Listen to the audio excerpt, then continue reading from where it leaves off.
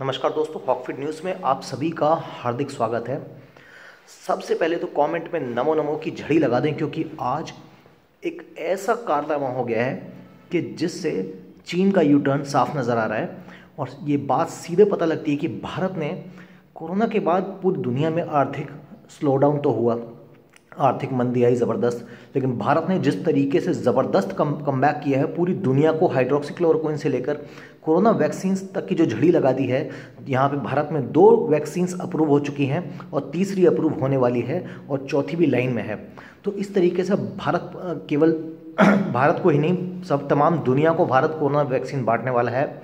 तो ये भारत का जो बिग लीप है, बड़ी छलांग है, इससे चीन भी डर गया है, सहम गया है और चीन ने आखिरकार घुटने टेक दिए हैं।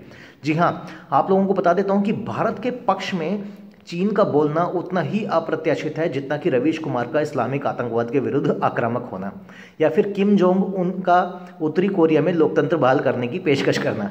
लेकिन कुछ ऐसा ही हो गया, जब चीन ने भारत निर्मित कोरोना वायरस वैक्सीन के पक्ष में अनचाहे तरीके से ही सही, परंतु अपनी बात बोली और अपनी हार को एक्सेप्ट किया। अब अपने एक लेख में चीन के मुखपत्र माने जाने वाले ग्लोबल टाइम्स ने आश्चर्यजनक रूप से भारतीय वैक्सीन का पक्ष लेते हुए उसकी तारीफ़ करी। अपने लेख में ग्लोबल टाइम्स ने कहा कि विशेषज्ञों ने कहा है कि भारतीय टीके चीनी टीकों के मुकाबले में किसी से कम नहीं है। फिर चाहे बात रिसर्च की हो या फिर उत्पादन क्षमता की। स्पष्ट है कि ड्रैगन इस समय ये मानता है कि भारत दुनिया का सबसे बड़ा वैक्सीन निर्माता है और श्रम श्रम कीमतों में कमी और अच्छी सुविधाओं के चलते भारत के टीकों की कीमत भी कम है। आपको बता दें कि वुहान वायरस से लड़ने हेतु भारत कई वैक्सीन को बढ़ावा दे रहा है। ऑक्सफोर्ड विश्वविद्यालय और सीरम इंस्टीट्यूट ऑफ़ इंडिया के सहयोग से बनी कोविशील्ड वैक्सीन का जहाँ ड्राई रन शुरू हो चुका है तो वहीं पूर्णतया स्वदेशी वैक्सीन, कोवैक्सीन भी बन के लगभग तैयार है और इसे इमरजेंसी उपयोग के लिए स्वीकृति भी मिल चुकी है। लेकिन ग्लोबल टाइम्स केवल यहाँ पर नहीं रुका। उनका कहना है कि भारत वैक्सीन के एक्सपोर्ट यानी कि निर्यात की योजना बना रहा है और वैश्विक बाज़ार के लिए ये एक अच्छी खबर हो सकती है लेकिन उसके इस कदम का राजनीतिक और आर्थिक मकसद है। रिपोर्ट में कहा गया कि नई दिल्ली देश में बने टीके का उपयोग वैश्विक राजनीति में अपने दखल को बढ़ाने अपने दबदबे को बढ़ाने और चीन द्वारा निर्मित टीकों का मुकाबला करने के लिए कर रहा है। यानी चीन ने आ, मचलते हुए से ही लेकिन अपने मसलने की जो बात है, उसको मान लिया है कि चीनी टीकों को टक्कर देने के लिए भारतीय टीके इस समय तैयार हैं कोरोना को लेकर। रिपोर्ट में Jilin university school of science life sciences के जियांग चुनलई का हवाला देते देते हुए कहा गया है कि जेनेरिक दवाइयों के निर्माण में भारत नंबर एक की पोजीशन में वर्ल्ड में कायम है और भारत भी वैक्सीन बनाने में चीन से पीछे नहीं है। जियांग ने कहा कि भारत स्थित सीरम इंस्टीट्यूट ऑफ़ इंडिया दुनिया में सबसे ज़्यादा वैक्सीन का उत्पादन करता है और कुछ मामलों में तो ये पश्चिमी देशों को भी पीछे छोड़ देता है। अब चीन का जो डर है, ये गलत नहीं है, क्योंकि भारत पहले भी चीन को हर मौके पे चुनौती चुनौती देने के लिए कमर कस चुका है। फिर चाहे वो रणनीतिक मोर्चा हो, कूटनीतिक मोर्चा हो, या फिर आर्थिक मोर्चा मोर्चा ही क्यों ना हो। चीन भारत द्वारा फार्मा क्षेत्र में प्रवेश करने की संभावना से कितना सहमा हुआ है, ये ग्लोबल टाइम्स की रिपोर्ट के एक अंश से ही स्पष्ट पता चलता है। अब मतलब सीन ये है कि चाइना को लगता है कि देखिए यार वायरस तो हमने बनाया लेकिन भारत वालों ने उसकी दवाई बना डाली और वो भी हमसे ज़्यादा हमसे तेज़ और हमसे कम कीमत पे। और चीन को ये बात ना जैसे कहते हैं कि आ, ना तो निगलते बन रही और ना उगलते बन रही कि हमारा ही वायरस मतलब कहते हैं कि अब मतलब उन्हीं की बिल्ली उन्हीं पे कोम्याऊँ हो गई है कि उन्हीं के वायरस से आपको बता दें कि चाइना में अब कोरोना की दूसरी लहर आ गई है जिसके कारण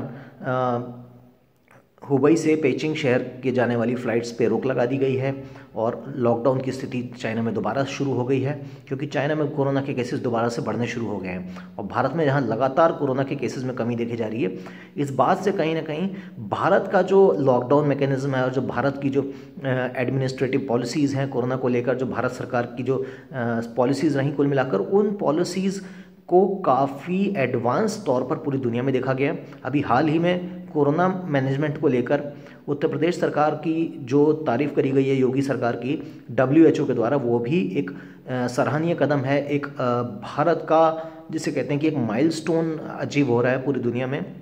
आज इस बात को मानने से पूरी दुनिया पीछे नहीं हट रही है। अब एक रिपोर्ट के अंश के अनुसार भारतीय वैक्सीन निर्माताओं ने शुरू में ही डब्ल्यू एच ओ गैवी और दक्षिण अमेरिका में पैन अमेरिकी स्वास्थ्य संगठन यानी पैहो जैसे जो ग्लोबल संगठन हैं, उन सभी से गठबंधन कर लिया था, जिन्होंने टीके के निर्यात में मदद करी है। ग्लोबल टाइम्स ने बीबीसी की एक एक रिपोर्ट के हवाले से ये बात कही है कि भारत लगभग साठ फ़ीसद टीके का उत्पादन करता है और कई देश कोरोना टीके की खुराक भेजे जाने का बेसब्री से इंतज़ार कर रहे हैं कि कब भारत टीका बनाएगा, कोरोना की वैक्सीन बनाएगा और कब उनके देश में कोरोना की वैक्सीन पहुंचेगी। यानी आज इस बात को पूरी दुनिया में साठ परसेंट से भी ज़्यादा जो वैक्सीनेशन बन रही हैं किसी भी बीमारी की, वो अकेले भारत में बनती हैं। और आज पूरी दुनिया एक तरीके से किसी भी बीमारी की वैक्सीन के लिए भारत का रुख देखती है। और विशेषकर बात करें कोरोना वायरस की तो कोरोना में पूरी दुनिया ये जानती है कि जल्दी से जल्दी भारत ही सबसे सस्ती और सबसे बढ़िया वैक्सीन और सबसे लार्ज स्केल के प्रोडक्शन पे अब केवल भारत बना सकता है।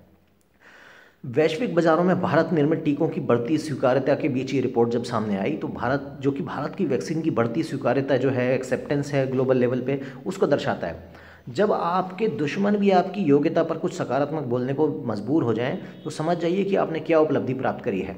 चीन भारतीय वैक्सीन की बढ़ती लोकप्रियता को अपने जहाँ एक तरफ़ खतरा मानता है, लेकिन उसके बावजूद भी उसे भी भारतीय वैक्सीन की क्षमता पर दो मीठे बोल बोलने ही पड़ गए। और यहाँ पर भी कुछ बुद्धिजीवी ऐसी हैं हमारे देश में, जिनका बस चले तो यदि भगवान उन्हें अमृत भी दें तो ये कह के नकार देंगे कि ये तो भाजपा का अमृत है। आप समझ गए, हम टोंटी चोर यादव की बात कर रहे हैं। हमारे टोंटी चोर कहते हैं, हम भाजपा की वैक्सीन नहीं लगाएँगे। अरे, भाजपा के कोई नेता हमेशा अपने घर में बैठ के वैक्सीन थोड़ा ना बना रहे हैं यार। है? वर्ल्ड की सबसे एडवांस हाईटेक वैक्सीन लेबोरेटरीज जो हैं, वो सीरम इंस्टीट्यूट ऑफ़ इंडिया के पास हैं। और वो वहाँ पर बैठकर वैक्सीन बना रहे हैं तो क्या वो मोदी जी बनवा रहे हैं? या अपने, हमेशा अपने घर में कुकर में वैक्सीन बना रहे हैं? यार, आप कैसी बात करते हैं?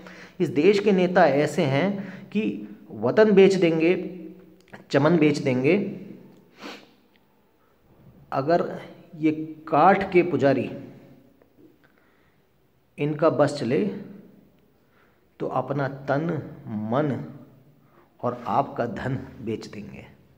तो इस प्रकार के इस देश के अंदर नेता हैं जो कि इस देश को किसी भी कीमत पर लूट कर खाने के लिए तैयार हैं और कुछ भी हो जाए उन्हें कोई भी सकारात्मक कदम जो भारत में उठता है, उससे उनको सख्त नफरत है। क्योंकि इस देश के अंदर जो वामपंथी मानसिकता का जो वायरस कोरोना वायरस से भी ज़्यादा खतरनाक है, वो सबसे ज़्यादा इस देश के लोगों को डसा हुआ है। आज जहाँ इस देश का हिंदू गहरी नींद में सेक्युलरिज्म की गहरी नींद में सोया पड़ा है तो वहीं इस देश का जो वामपंथी है, इस देश के अंदर जो जिहादी मानसिकता का तत्व है, वो ये सोचता है कि किसी तरीके से भी भारत के में होने वाली हर जो प्रोग्रेसिव थिंकिंग है, हर प्रोग्रेसिव जो कदम है भारत का, उसका किस तरीके से विरोध करा जाए? भारत में होते हुए विकास का कैसे उसका खंडन किया जाए? भारत में होते हुए हर विकास वाले कार्य के कैसे उसकी जो है, उसके खिलाफ बोला जाए? तो यही इनकी मानसिकता है इन लोगों की। आप चाहे कुछ भी अच्छा कर लीजिए, इस देश में एक्सप्रेस वेज बनाइए सोलह लेन का एक्सप्रेस वे इस देश के अंदर बन गया, जो विश्व के अधिकांश एक्सप्रेस वेज से बड़ा है। दुनिया के सबसे चौड़े एक्सप्रेस वेज में से एक ही है। लेकिन लोगों को ये बात हजम नहीं होगी कि अरे वाह, कि अरे इन्होंने इतनी तरक्की कैसे कर ली? ये तो एक ऐसी बात हो गई कि तो हमें बचेगी नहीं। तो वही वाली बात है कि ना अब उगलते बन रही, ना अब निगलते बन रही स्थिति ऐसी है दोस्तों। तो अभी इसके साथ मैं आप सभी लोगों से आगे लेना चाहूँगा। आप लोगों से एक छोटी सी मेरी निवेदन होगी कि आप हमारी हर वीडियोज़ को शेयर करें ज़्यादा से ज़्यादा और कमेंट में अपनी राय देना कभी ना भूलें, क्योंकि देश हित में दे, जो हमारा जन जागरण है ऑकफीड का, इसमें आप लोगों की भी सहभागिता है। वो कैसे आप हर वीडियो को शेयर कीजिए, हमारे चैनल को सब्सक्राइब कीजिए और यदि बेल आइकन का निशान यानी कि घंटी का निशान नहीं दबाया है तो go ahead and press the bell icon और हर वीडियो आप तक पहुँचेगी दोस्तों। अभी के लिए इतना ही, जय हिंद, जय भारत, नमस्कार।